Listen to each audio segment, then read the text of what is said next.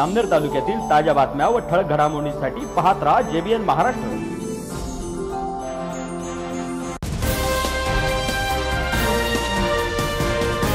नमस्कार मी मिनल चौधरी. पाहूया काही ठळक वृत्त.